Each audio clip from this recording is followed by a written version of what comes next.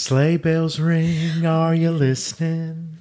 In the lane, Okay. snow is glistening. A beautiful sight, we're happy tonight. Walking in a winter I didn't write that wonderland. down, but I do like that. I like that too. one. The Judds, their version, they go walking in a winter. They scoop the W. Walking. Yeah, I can. I remember that. uh-huh. And then, of course, I love the Eurythmics version of that because it's real electronic and it feels icy. And also because we don't really have winter wonderland. in No. I remember one one snowy Christmas. Yeah. Out of the thirty-eight. Maybe we've had. two in my lifetime. Yeah. In Nashville. Yeah. Okay, so we wanted to do a holiday edition for. Well, I wanted to do a holiday edition. Are you taping? yeah, I'm taping. I wanted to do a holiday edition, and Kate's going along. sort of. Okay, here we go. Okay, Amy Childress Obanoff uh, wants a, a description of the clock in the hall that chimed, the one that reminded you of the passage of time when you went home for the holiday. So this is from In My Mother's House. It is, which of course is a very special song for me. You know, I was thinking about this, Amy, and um, I do believe that we had a clock, and I don't think it was necessarily a big grandfather clock. It's possible because I do remember my mother liked antiques, and I don't think we had a standalone, you know, like tall clock, but we had like what I call a table clock. Though my mother did hang it on the wall and it seemed like it chimed. I don't know where else I would have gotten that mental picture. Um, I also think my mother-in-law, Miss Campbell, I think they had one, and I think they might have even had the the tall clock. The grandfather clock? The grandfather. I think I'm i remember thinking that, that, and- from when I dog sat. Yeah, I'm thinking that too. So uh, I think it's a combination. But I, I- there's something in the sounding of the clock, and I know it came from either both my mother and my mother-in-law.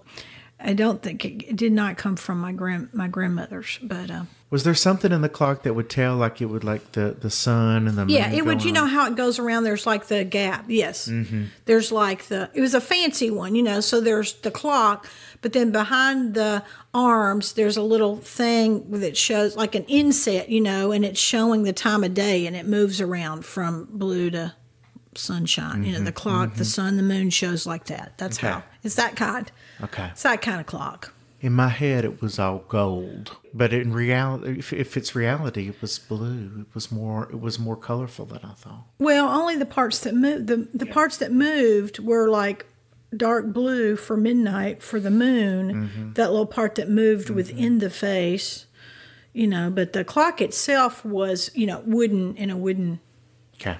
case. So much. It got this me clock. thinking, Amy. I know it got me thinking, Amy. Uh, Wendy Young wants to know: Did you or did you not? Oh, did you or did you not have an aluminum Christmas tree at any point in your life? I think we did. I know I did at my mother in law's house, but my mother in law really decorated all over. My mother, early on, you know, maybe, but generally we did not have those unless my mother or Miss Campbell was having, you know, a Christmas, you know, where people drop open house where they had more than one tree.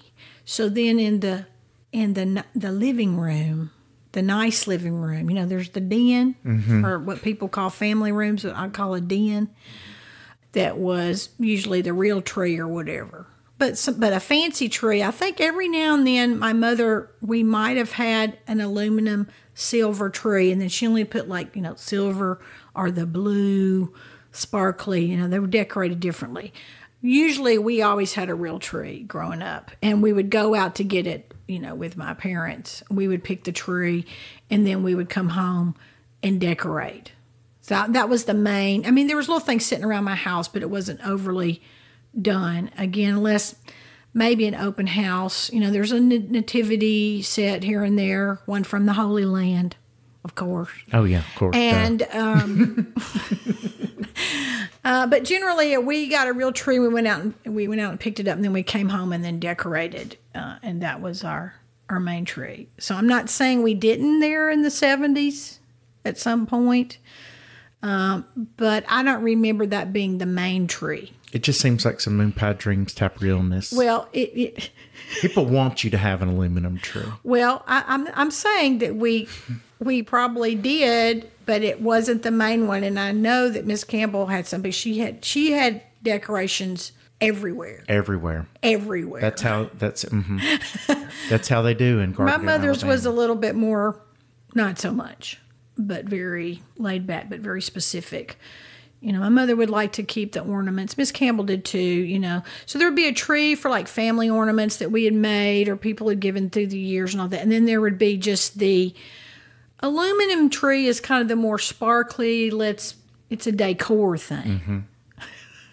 Okay. The aluminum tree would be decor in the living room, but not the main tree. I don't I don't see it that way in my brain.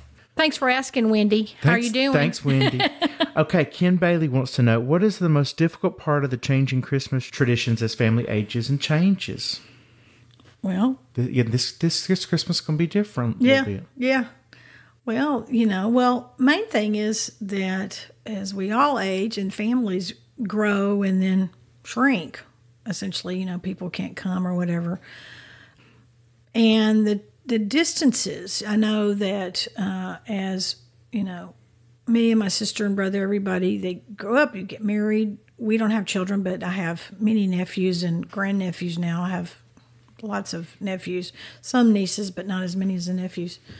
You know, everybody disperses in our culture, except for the one little family unit yourself. Uh, but me and I were always traveling to the other groups of the family. It's different. Yeah. I mean, you know, it is what it is.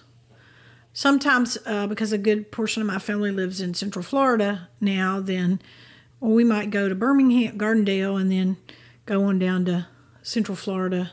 And my brother lives up here, though. We might go to Cracker Barrel with him. And the, all the nephews are all big. Some are married and have children of their own, so they're all big boys. So it's just kind of hit and miss.